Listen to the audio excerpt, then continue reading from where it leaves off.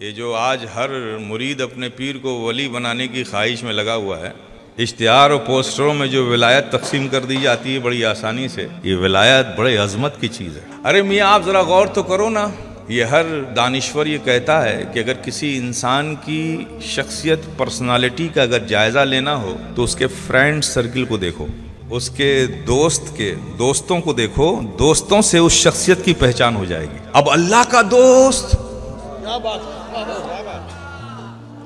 कैसा होगा मेरे प्यारे? ये तो वही हाल हो गया। आप शाहराह पे बाहर निकले सड़क पे।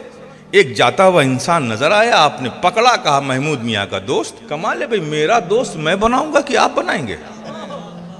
तो अल्लाह का दोस्त, अल्लाह बनाएगा कि आप बनाएँगे? वली को वली कहोगे तो सवाब है। अगर जो उस मकाम तक नहीं, उसे तुमने वली बना दिया तो विलायत की तोहीन भी है ये। क्योंकि उस शख्स को तुम अल्लाह का दोस्त बना रहे हो, जो उस मैार का है ही नहीं। ये किसने कह दिया तुमको कि पीर होने के लिए वली होना ज़रूरी है? ये काम जिसका उस पर छोड़ो ना। पीर के लिए वली होना ज़रूरी नहीं पीर के लिए होना ज़रूरी यह है कि वो शरीयत का आमिल हो और ईमान व अकायद व मसलक का इल्म रखता हो। जब उसे इल्म ही नहीं होगा, जब वो अपना अकीदा नहीं बचा पाएगा तो आपका क्या बचाएगा? दूसरी शर्त, वो जिस सिलसिले से भी है, उस सिलसिले से उसका रूहानी ताल्लुक जुड़ा हुआ होना चाहिए। मुंसलिक होना चाहिए, मुनकता नहीं होना चाहिए। और अखलाक के बाब में मुरवत के बाब में वो कमाल लगता हो। मुरवत भी हो, वज़ादारी भी हो, ये सब हो तो और सोने पे सुहागा है। ये शर्त है।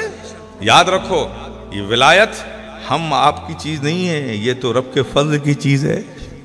एक इंसान आलिम भी हो मुफसर भी हो मुहदस भी हो, फ़की भी हो, मुत्तकी भी हो, शब्बाश भी हो तहजद गुजार भी हो इशरा को चाश भी पढ़ता हो, अवाबीन भी पढ़ता हो, सारी नमाजें पढ़ता हो। चौबीस घंटा उसकी ज़िंदगी सजदों में गुजरती हो, लेकिन फिर भी ज़रूरी नहीं कि वो वली हो।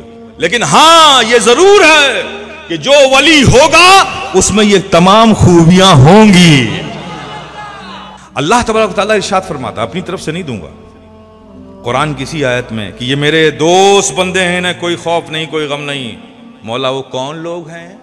तो अल्लाह तबारक अगर इरशाद फरमाता है, अल्लजीन आमनु वकानु यत्तकून। ये वो लोग हैं जो ईमान लाए और ज़िंदगी के हर लम्हा मुझसे डरते रहे। अब कोई आपको आसमानों में भी उड़ता हुआ नज़र आ जाए ना ये धड़ से जो वली कह देते हो ना, ये आदत बदल दो। वली मत कहना, पहले देखना ईमान वाला है कि नहीं। अच्छा ईमान वाला है? अब देखो कि तकवे वाला है कि नहीं। तकवे वाला है, तब गुमान करना कि ये हो सकता है कोई अल्लाह का वली हो, ये उड़ना उसकी करामत हो।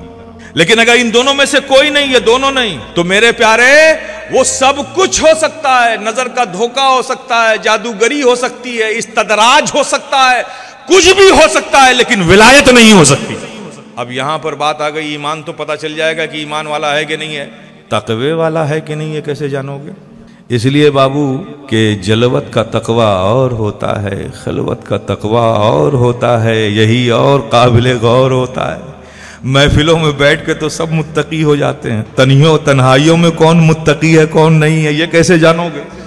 और वली तो वो होता है जिसकी तन्हाई और जिसकी महफिल सब एक जैसी होती है। वो मुत्तकी हर लम्हा होता है, हर आन होता है, खशियत इलाही हर वक्त उसके वजूद पर तारी होती है। वो कभी भी खशियत इलाही से उसका वजूद खाली नहीं होता, वो हर वक्त रब की खौफ और खशियत के साथ तो आप जानोगे महफिल में तो सबको मुत्तकी देखोगे, सब हाथ बाँध के सर झुका के खड़े रहेंगे। अभी तक लोगों को ये भी नहीं मालूम है कि जो सर झुका के बैठते हैं, ये लोगों ने सुना है कि अलिया कराम ऐसे ही सर झुका के बैठते हैं। तो नकल करनी शुरू कर दी, लेकिन किसी को ये नहीं मालूम सर झुका के बैठते क्यों हैं। बस बात यह है कि ये सर झुका के हमारे आला हज़रत शफी मियाँ ने फरमाया तो थोड़ा सा इशारा दिया था, थोड़ा सा इशारा दिया था कि झुका के सर बैठते हो तुम क्यों? ये राज है, अशरफी बता दो, बंधा है किसका, तुम्हें तस्वुर ये किसकी शक्लें हँसी है दिल में?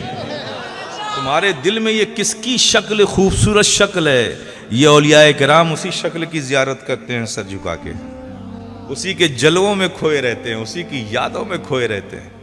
ये औलिया कराम वो हैं, जब आँख बंद करते हैं तो नज़ारे देखते हैं। अब कोई कह दे कि हम भी सर झुका के देखते हैं तो पहले उनसे पूछना कि जिस दिल में ये हसीन जलवा है, वो दिल कहाँ है? पहले ये बता दो।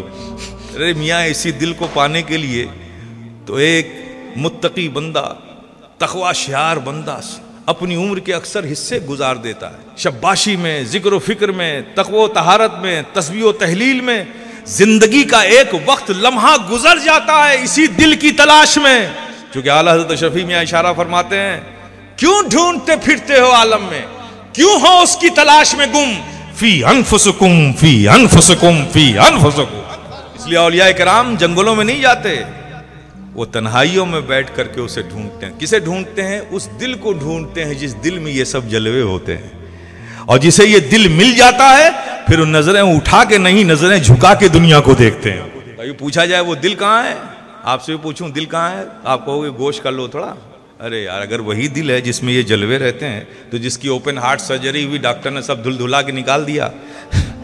अभी तक लोगों को पता ही नहीं कि जिस दिल में ईमान होता है, जिस दिल में यकीन होता है, जिस दिल में ये जलवे होते हैं, जिस दिल में ये सब शक्लें हँसी होती है, वो दिल इंसान में कहाँ होता है? इसी को पाने के लिए तो एक मर्द मोमिन, एक मुत्तकी बंदा अपनी ज़िंदगी के अक्सर हिस्से गुजार लेता जिस दिन वो उसे पा लेता है, वो बाकमाल हो जाता है।